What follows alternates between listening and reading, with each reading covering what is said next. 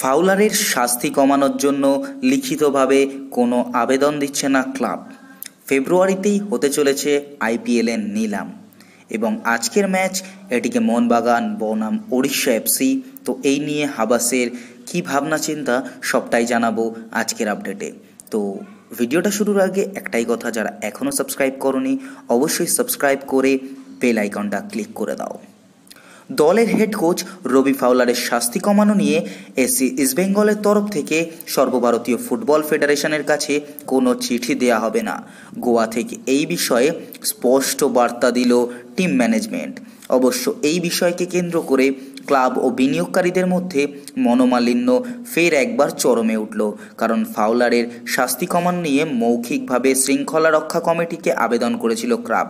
যদিও সেটা পত্রপাঠ খারিজ হয়ে যায়।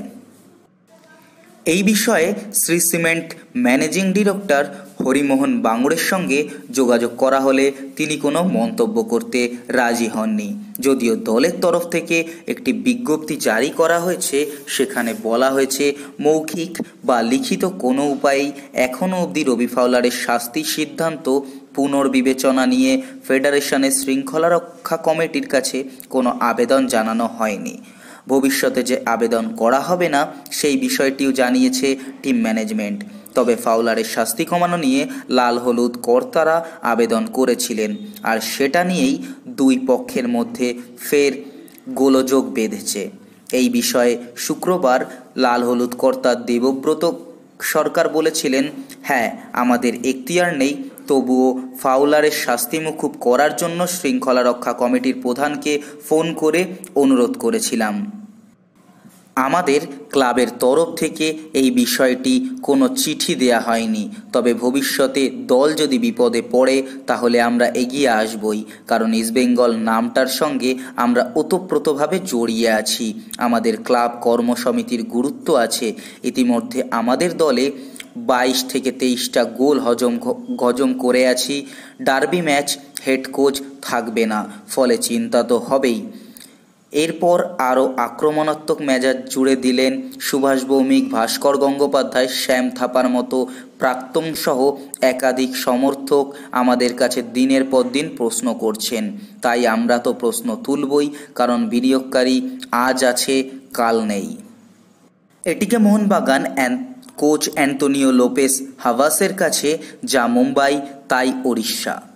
লিগ টেবিলে সবার নিচে রয়েছে ওড়িশা এফসি তবুও প্লে অফে কার্যত পৌঁছে যাওয়া এটিকে মোহনবাগান একদমই হালকাভাবে নিতে রাজি নয় তাদের। কারণ এরকম গুরুত্বপূর্ণ সময়ে লিগ টেবিলের নিচের দিকে থাকা দলগুলি বেশিরভাগ বিপজ্জনক হয়ে ওঠে। আর তাই এটিকে মোহনবাগান কোচ মনে করছেন তাদের কাছে প্রতিপক্ষ হিসাবে মুম্বাই যা ওড়িশাও তাই। ওড়িশাকে হালকাভাবে নিলে যে কপালে দুঃখ আছে, এমনি মনে করছেন সবুজ maroon coach Antonio Lopez Habas. আর সেই কারণেই তিনি সাফ জানিয়ে দিলেন, অন্য সব সব ম্যাচের মতো এই ম্যাচটাও তাদের কাছে সমান গুরুত্বপূর্ণ, কঠিন এবং প্রতিবারের মতো শনিবারও তিন পয়েন্ট ঘরে তোলাই লক্ষ্য তাদের।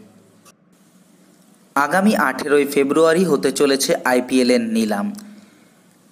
আগামী আঠেরোই ফেব্রুয়ারি চেন্নাইতে আইপিএলের নিলামের কর্মসূচি।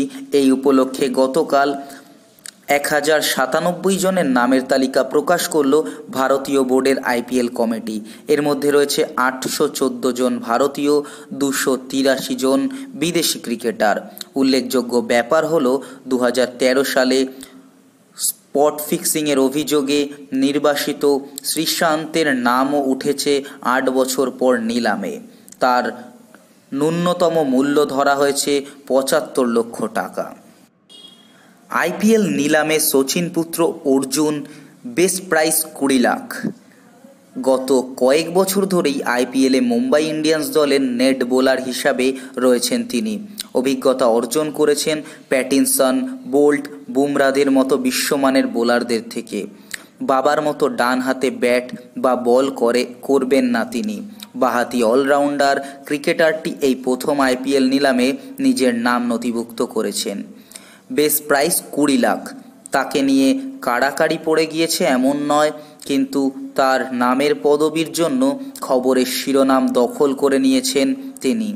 অর্জুন তেন্ডুলকার, সচিন তেন্ডুলকারের একমাত্র পুত্র সৈয়দ মুস্তাক আলী টুর্নামেন্টে মুম্বাইয়ের হয়ে খেলেছেন।